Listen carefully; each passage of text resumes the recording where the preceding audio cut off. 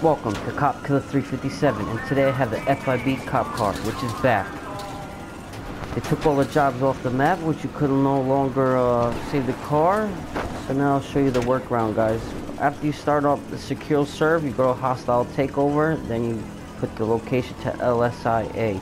Once you go over there where the briefcase is and you get the car you want to go over here. Make sure you call Ron or Simeon have a job ready Look guys, I have the maps. I have the jobs showing up on the map and they're not appearing. Once you start to see old jobs, they're no longer available. So this is the workaround. So once you get, I don't know, stay over here, just pull up your phone, like so, jobs, hold on, go. Go, go, go. Done. Alright, just exit out of the job.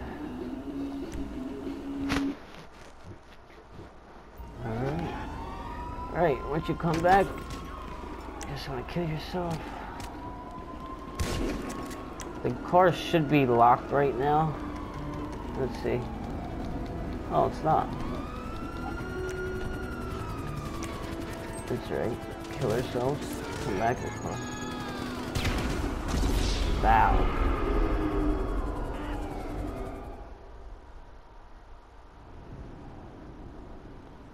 Kill yourself, it's that simple. No more cops. The job's done.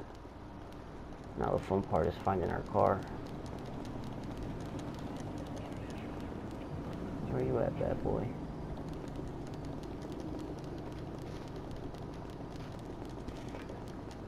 She got to be here somewhere. She died over here. Okay, there she goes. Nice. Like I said, if you uh, start the job and you can't get bricked in it, it's because uh, you gotta kill yourself. Look, so we have the car, no cops, mission is over. Now to fix it, now you could show up the maps, the jobs on the maps, hide options, jobs, show, boom. You just want to take it over to a Eraser somewhere to fix it.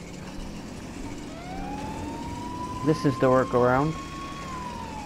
Obviously you could tell they took the jobs off the map, so you couldn't save it.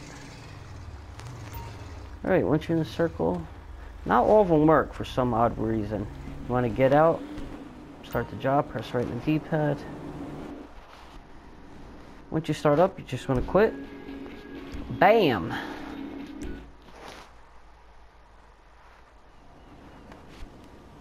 And we'll come back. Where's our car at?